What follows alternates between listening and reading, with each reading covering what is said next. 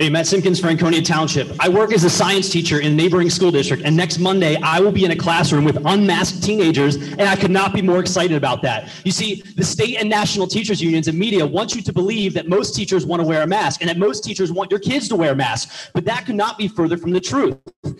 How do I know this? Because the school where I work made masks optional for the last week of school last year, and over 90% of teachers showed up the next day without them. And by the second day of optional masks, almost all the kids weren't wearing masks. We had prom in the gym with optional masks. Do you guys remember seeing headlines of hospitals overwhelmed in a wave of sick kids last June? Neither do I. Here's the thing the politicians and the health experts do not want schools to open normally because when they do, and when we're fine, people might start asking questions about whether any of the mitigations and if all the dystopian measures we subjected our nation children to were necessary at all. Measures like school opening contingent on community transmission rates, or enough space to ensure six feet of social distancing, or canceling sports, or confining children to plexiglass cubicles, or isolating children at lunchtime, or obsessive surface cleaning. Every single CDC or state or county guideline that I just listed has been studied in the last 18 months, and the real world impact, the real world data has demonstrated no statistically significant impact on schools and transmission. And yes, I have the citations to back each of those claims. I'm a science teacher, I'm a nerd. Give me forgive me.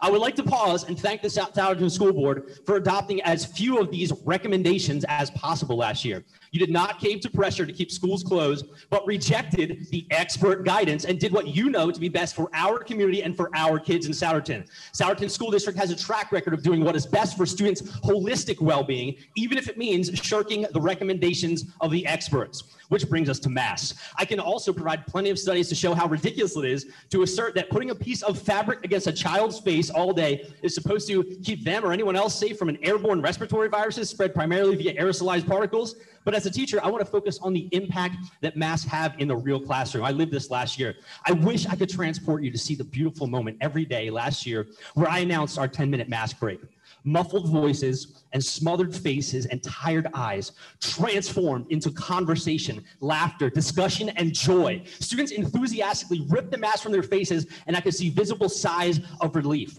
Anyone who tells you that masks are no big deal or have no negative effects on children's psychology or the learning process are either uninformed, deluded, or dishonest. My students told me those 10 minutes were the highlight of every day.